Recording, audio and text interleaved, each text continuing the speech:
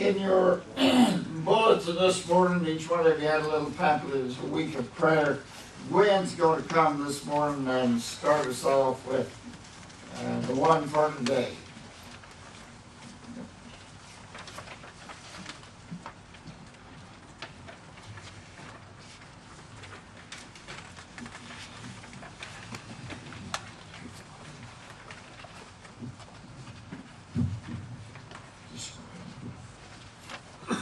Is it on? Yeah, it's on. Okay, if you want to follow brochure, it's uh, for Sunday. Uh, James Barker, pastor of Holy Hill Baptist Church, looks on everything God does as a blessing. Among the blessings experienced by the church located on the outskirts of Panama City is an interest-free loan from the Maguire State Mission offering the money purchased 1.5 acres of property along Highway 98 as a site for the congregation to build a church. A new church building will enable the primarily African-American congregation to create better visibility in the community and connect with residents of all races. Holy Hill is a community-sensitive body of believers seeing needs, meeting needs, and sharing faith. If a church doesn't affect its community, it's not doing its job, said the pastor. Grateful for Florida Baptist's heart of generosity, the church reflects the spirit of giving as it ties its income through the cooperative program and gives generously to the Baptist Association as well. Thank you so much.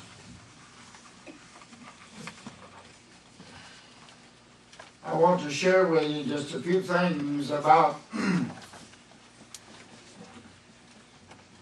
our state here in which we're taking up this offering for. I don't know whether you know all this or not, perhaps you do, but in Florida, the population now in the state of Florida is 19 million. Uh, persons who do not claim Jesus as their Savior, 15 million. Now think about that for a moment. 19 million here, 15 million do not claim Christ as their Savior. Florida's ranked in population among the states of the United States is number four. Uh, Florida Baptist churches proclaiming the gospel in many proclaims the gospel in many languages uh, 22 different ones. Florida Baptist churches that worship in language other than English, 800. Think about that for a moment. Florida Baptist congregations, 2,968. Baptism reported by Florida Baptist last year was 49,010.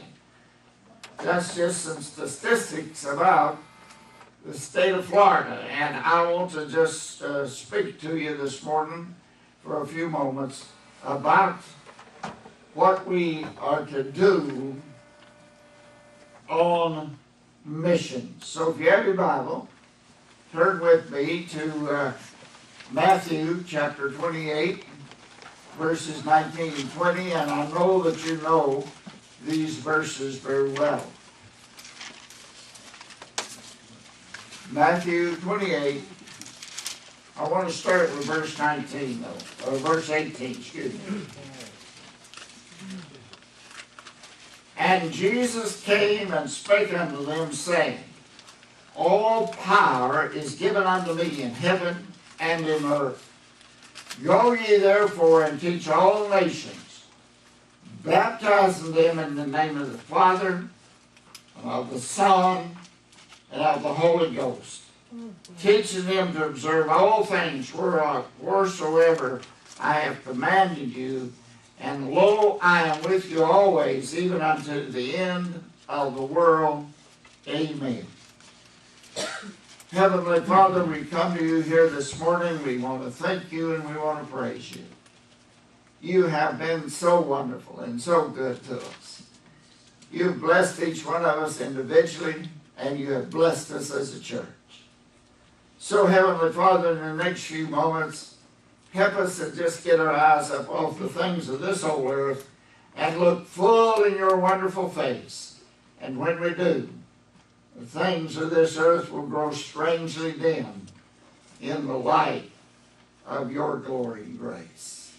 Father, this morning I pray if there's one here who does not know you as a personal Savior, that today they would open up their hearts.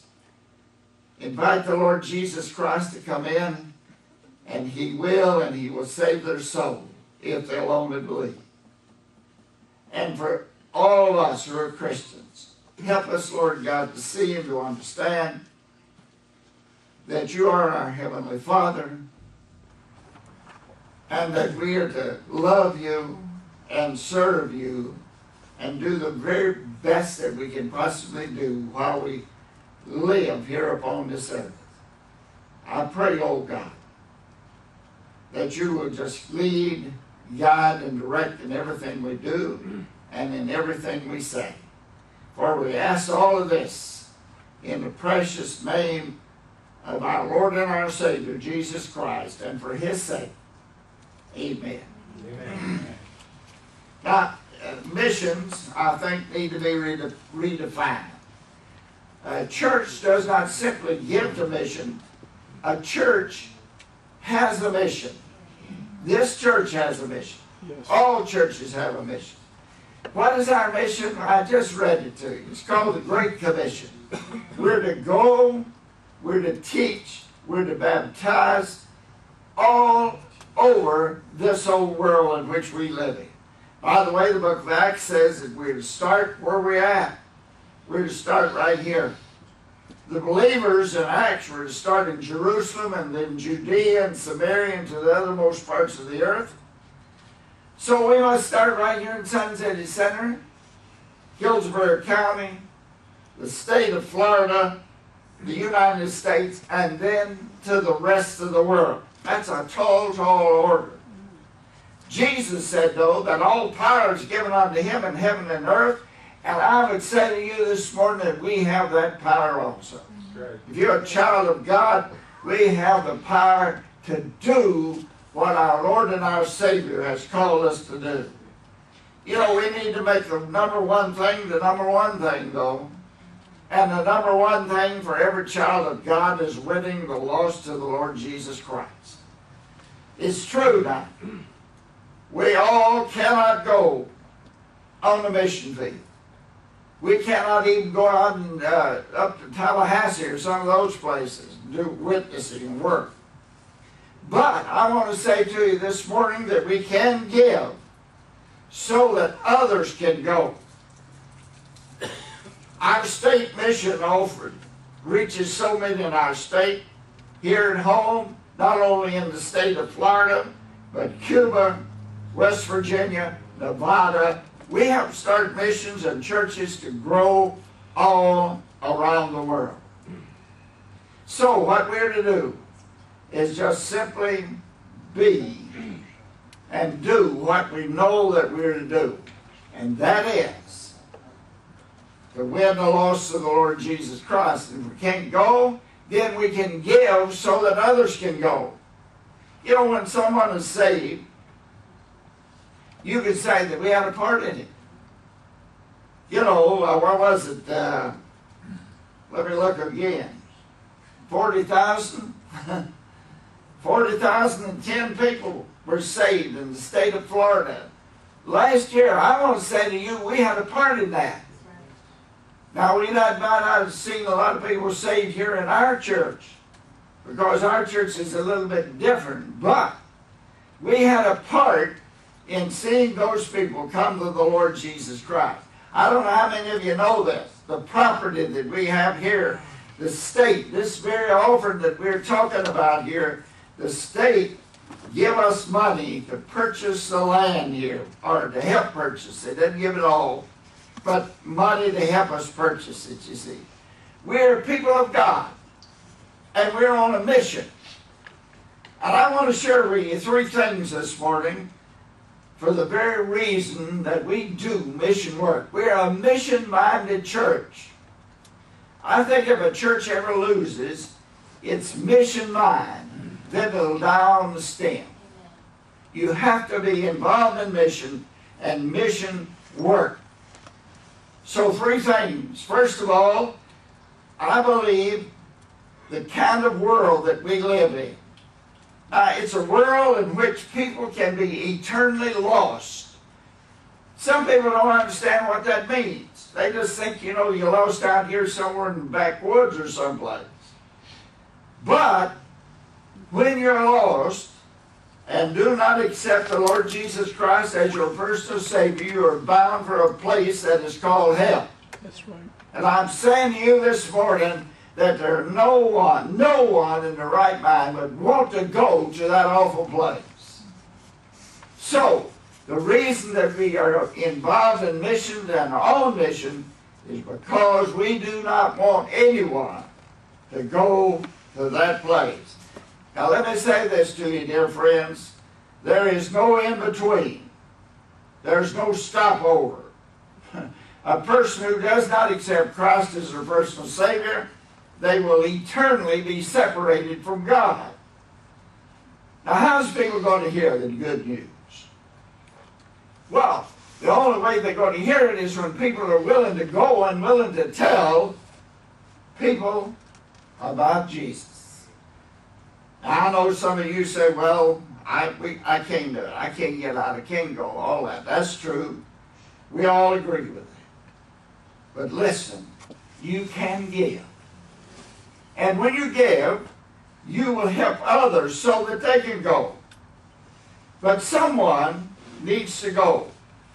This, I tell you, this whole world we live in is cold, it's indifferent. Yep. Many people are confused and they're hungry, they're sick. And what they need is not a doctor and, you know, or the government to do something. What this world needs more than anything else is the Lord Jesus Christ. he is the number one thing, and we need to remember that. We need to keep the number one thing the number one thing. I heard a story about a man named Jacob. Jacob was a lighthouse keeper. He married a godly woman named Martha. So the first day that he brought Martha home to the lighthouse, he had this to say to her Martha, keep the lens clean and the light burning brightly. The years went by, but they remained faithful. Never, not one time did a ship sink or a shipwreck off the shore. One day, Jacob was taken, he was taken sick and then was taken to the mainland. Several days later, a boat came. Martha sensed something was wrong. And the man who came bowed his head and said, Martha, Jacob died this morning. Martha said, Well, did Jacob have anything, any last words for me? Did he say anything? He said, Yes, he did. He said, Tell Martha, keep the lens clean and the light burning brightly. I say to you this morning, that's what we're to do. We are the light of the world. We must keep our lives clean and keep our lives pure and keep on, keeping on doing what is the number one thing. Amen. And that is winning people to the Lord Jesus Christ. That's it. The second thing, we're on missions because of the God that we serve. You know, our Heavenly Father is a mission minded Father. That's right. He is concerned about mission, and He give the Lord Jesus Christ give us this command that we're to go, that we're to teach, we're to baptize. You know, we're not only to win the lost to the Lord Jesus Christ, we're to teach them once we win them to the Lord. We're to teach them the things of Jesus. We're to let them know what is right and what is wrong.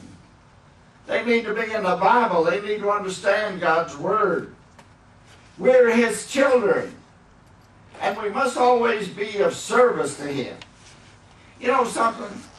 It's not God's will that any should perish, but that all should come to salvation. Second Peter tells us that.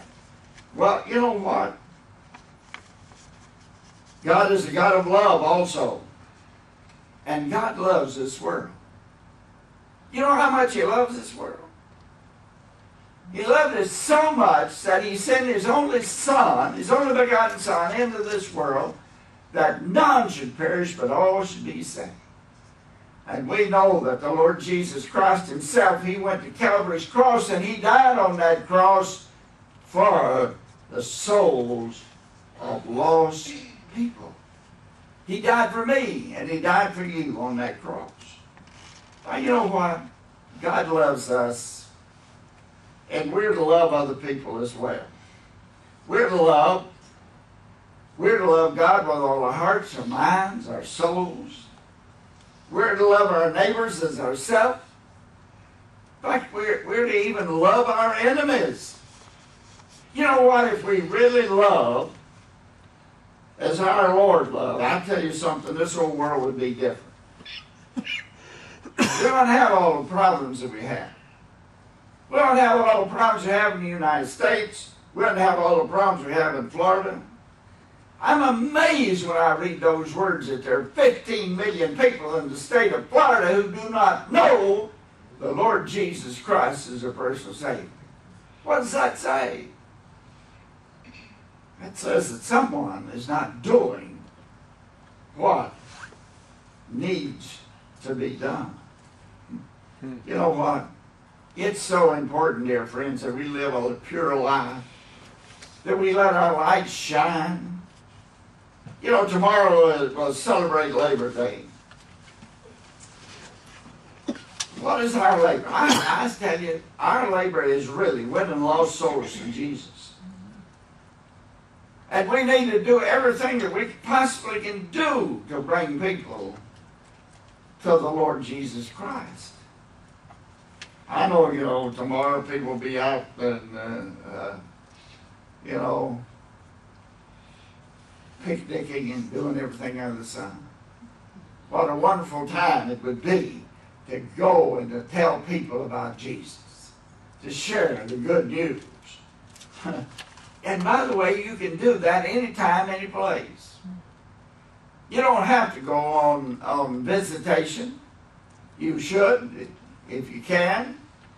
But you can, you can do it wherever you want. I read a story about a, a woman named Martha. Martha was, worked in a boarding house over in London, and she hated it. She didn't like it at all. She wanted to get out of there somewhere or another. But she was faithful. She was a faithful Christian. And she just simply stayed with it. One day, a man by the name of Spurgeon, who was really one of the greatest preachers of all time, someone said to him, said, uh, Spurgeon, said, where did you get all your knowledge of theology? He said, well, I got all I needed up there at the boarding house from a woman named Mary. She thought she wasn't doing much. But she had a great influence on one of the greatest preachers of all time, you see. You can, you can be a witness wherever you're at. I don't care where it's at.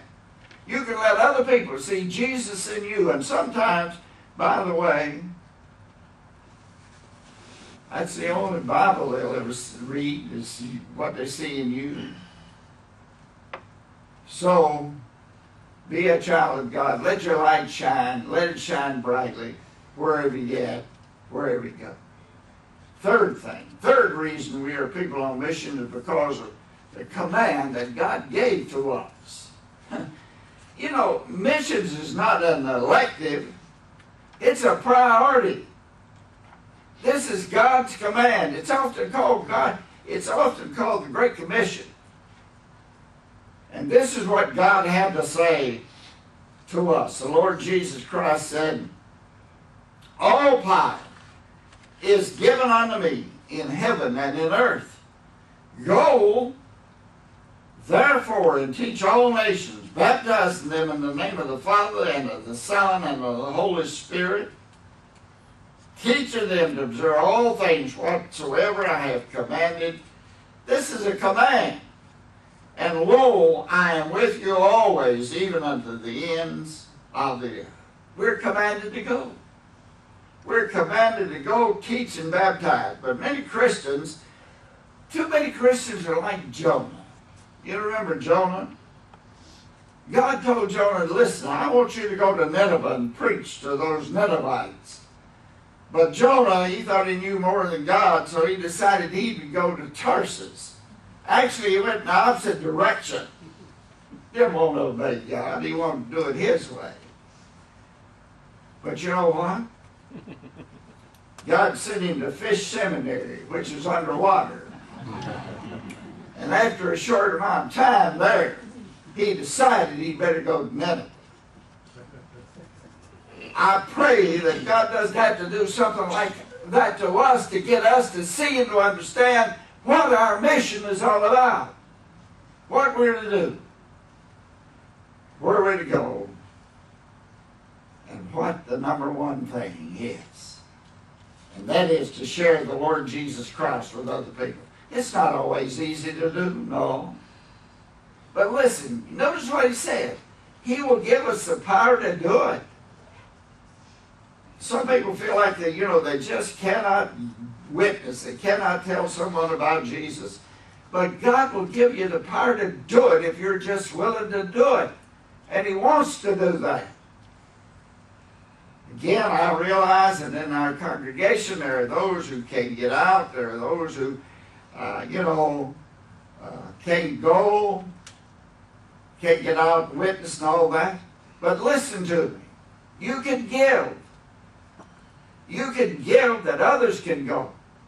One of the great needs right here in the, in the city of Tampa and in where we live around here is this thing of starting church. I don't know where you know this or not, but here in uh, here in uh, Hillsborough County, there are all kinds of different churches. Spanish, Russian, uh, I don't know how Korean, how many different churches. You know how they started? They started when somebody was concerned enough to want to do something. They didn't have money, they didn't have the, the funds to do it. But you know what? People like you, people like you stepped in and said, Yes, we'll give money, we'll help. And the church was started, established. You'll read about that in your little pamphlet that Gwen read to you this morning. Thank God that there are people who are still willing to do that, to see that the Word of God is spread around the world. And it starts right here where we're at, you know. Jesus said He would be with us always, and He will be. He wants to be. And by the way, if He's for us, who can be against us? Right. And I say this, we need to really, we need to really truly get back to what is the number one thing. And the number one thing is winning lost souls to the Lord Jesus Christ. We're to go, we're to give, and we're to baptize, we're to teach them. If we do these things, God will bless. And by the way, let me just say this to you. A lot of people say when it comes to giving, well, I just can't give. You know that's not true. Everybody can give a little. And I'd say this to you, my dear friends. You cannot, you cannot, you cannot outgive God. You give it to Him, and you know what He'll do? He'll turn around, give it back to you, pressed down, running over. You cannot give it. So give. Give. It's so important that we do that. He'll give it back to you. By the way, we're not to lay up treasures here on this earth. I uh, was watching the other day, uh, called it Pickers, I think. I'm not sure what the but it's these guys that go around, you know, they hunt these antiques and all that stuff and everything, you know. It's amazing what people hoard, what they keep. you know, all that kind of stuff. Hey, listen to me. Don't lay up treasures here on this earth. Lay up treasures in heaven, where moth or rust cannot get to it or hurt. give it to God It's a lot better than putting in the stock market or any of those things. You give it to God, and He will use it, and He'll use it in a mighty way, and people will be brought in to the kingdom of God. But look, here's the thing about it, dear friend. First of all, you're going to be a witness. If you're going to serve the Lord, if you're really going to do what God would have you do, well, first of all, you have to be saved. You have to be saved. You have to, you know, if you have a problem with giving or any of those things, listen, it could be that you've never truly given your heart to the Lord Jesus Christ. See, that's the first step. The first step is that you give your life, your heart, your mind, your soul to the Lord Jesus Christ. He will save you. And when you're saved, He will change you. You'll become a different person. Ah, And when you are, when He does that in your life, you won't have any trouble giving. You won't have any trouble going. You'll want to because of what He did for you. You'll want to give. You'll want to go. You'll want to serve. Because when you realize what the Lord Jesus Christ did for you on Calvary Cross, you'll want to do it. So the first step is to be saved. Mhm. Well, that's not hard. If you're here this morning, you've never accepted the Lord Jesus Christ as your personal Savior, listen to me. All you have to do is just admit that you're a sinner. Admit you're a sinner. All of sin comes short of the glory of God. You have to agree just simply agree that the Lord Jesus Christ left his throne in glory, came down to this earth, went to Calvary's cross, died on that cross for your sins. if you'll do that, he'll save you. And then you must accept. Oh, accept God's free gift. Salvation is a free gift.